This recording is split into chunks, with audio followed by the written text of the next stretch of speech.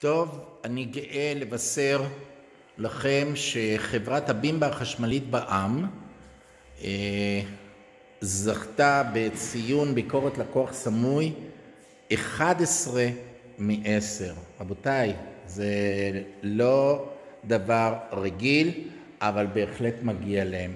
תספרי לי בבקשה, אה, ליאת, על החברה. כמה אנשים עובדים, מה הצוות, הבנתי שאתם מגובשים. נכון, אנחנו חמישה אנשים, כמו משפחה קטנה, מאוד מגובשים. אה, אנחנו מוכרים, משווקים קלנועית סגורה עם מנגן, עם מצלמת רוורס, עם הדקה, מערכת שמע, ממש כמו אוטו. אבל קלנועית, לא צריך רישיון נהיגה, לא צריך טסט שנתי, אין, אה, לא צריך פיתוח, אנחנו ממליצים לעשות, אבל לא צריך. את זאת אני רוצה, את השחורה. אין בעיה. שימי לי אותה בצד. אין בעיה.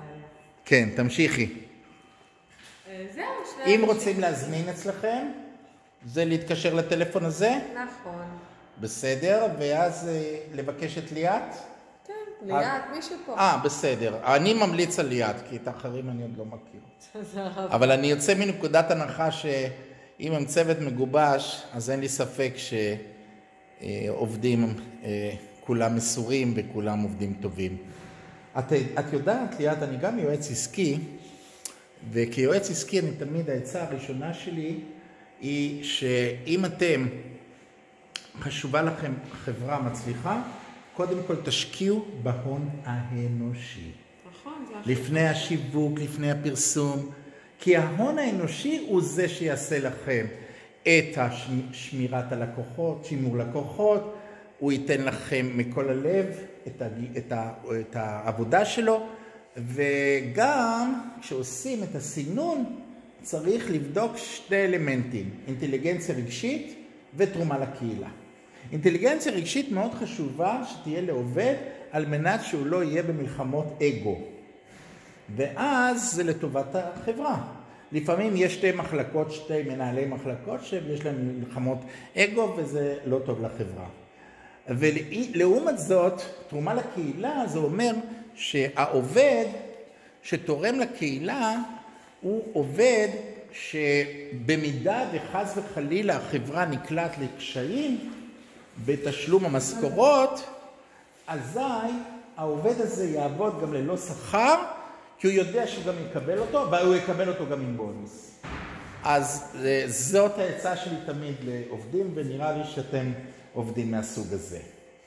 אז אה, זה השולחנות עבודה, את יושבת שם, במקום הזה, זה המשרד שלי. כן. ואת יכולה להציץ בטלוויזיה, אבל מה?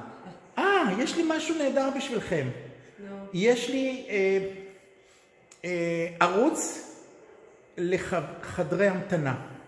אתם שמים פה שלוש שעות של טריקים. אנחנו שמים פה וידאו של הבימבה. כן, אבל אתם יכולים בנוסף לזה, כדי שאנשים, את הבימבה הם צריכים לנסוע איתה. אבל כדי לשבת איתכם פה ושם, אוי, לא שתיתי את הקפה שלי, אני רוצה לשתות. אז אתם 20 שקל לחודש, רואים שלוש שעות של טריקים עם אביזרים שיש בבית, כל הזכויות שמורות. אתן לכם חודש ראשון חינם, כדי שתראו מה זה. אוקיי, אז תודה רבה ליאת. תודה רבה לך. אני לא צילמתי אותך, כי ביקשת ואני מכבד את זה, אבל תאמינו לי, ליאת, ההילה שלה יוצאת מגופה בצבעים מרהיבים. אדם נהדר והיא גם בהיריון, ושיהיה לך במזל טוב. תודה רבה.